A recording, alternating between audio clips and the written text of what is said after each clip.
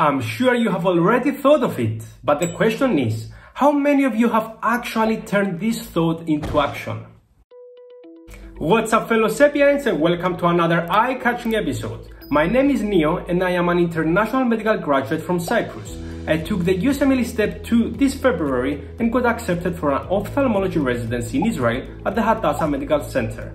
Today, I want to explain why should you go ahead and take the following examinations. The USMLE, the United States Medical Licensing Examination, or the MRCP, which is the corresponding postgraduate medical diploma in the UK.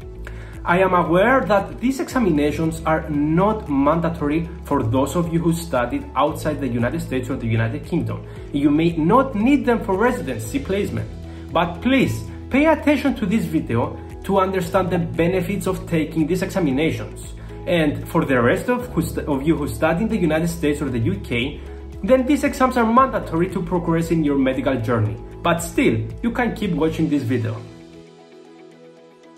We all start our medical journey with ambition, dreaming of becoming one of the best and serving patients with greatest care. Most of us think of going to the United States or United Kingdom for our residencies, but during our medical studies, many of us procrastinate or even forget about our dreams. And in the end, very few decide to take these examinations. And the first time I thought of taking the USMLE was when I was in the first year of my medical studies. And it wasn't only me who thought of it. Most of my classmates were thinking of taking these examinations as well. We were all saying, okay, we will start with step one by next year.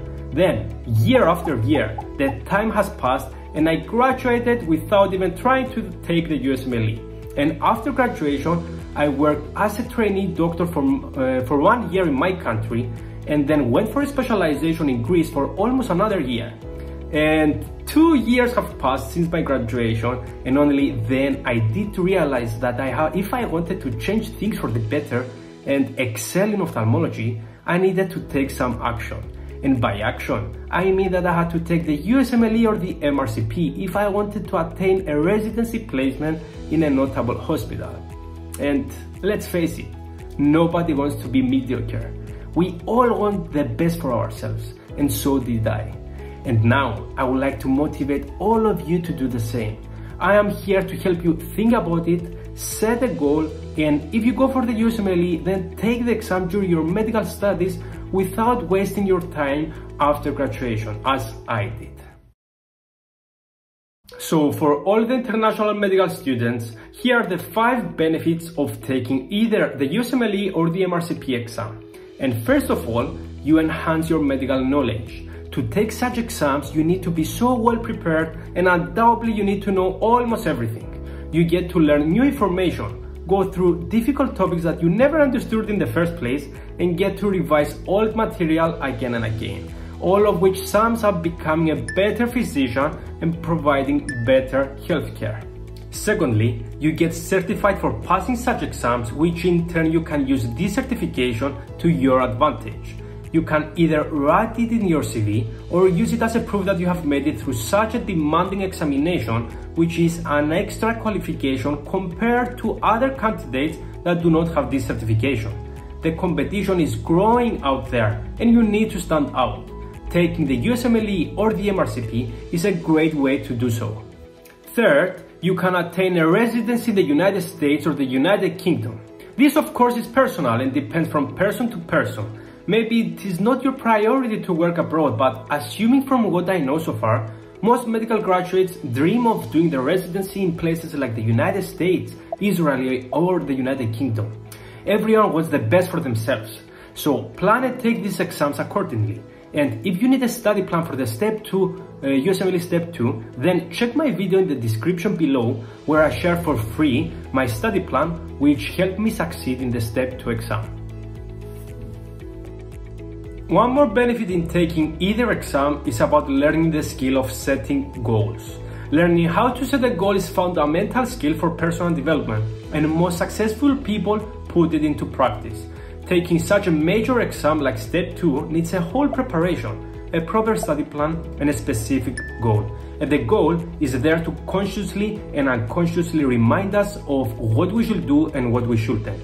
It reminds yourself why you have started studying and why are you doing this. Every time you find yourself in doubt, you just need to remember your goal, which by the way must be clearly written with the exam test day and score. Anything you want in life must have a goal for it. So set a goal for this exam and you will be one step closer to succeeding both in the exam and in personal development. And the last benefit, number five, which in my opinion is the greatest benefit of all, is the fulfillment you get after succeeding in the exam. The pleasure you get after you have achieved your goal cannot be described in words. You get to grow your confidence and build trust in yourself. The preparation of the examination takes months to be accomplished, and so its benefits are long lasting. In the end, I achieved the personal goal I have set, and by saying this, I want to motivate all of you out there that you can do it as well. It is worth to study intensively for a few months, succeed in the exam, and benefit from it afterwards. You shouldn't wait until you graduate to decide if you want to take the step 2 for example.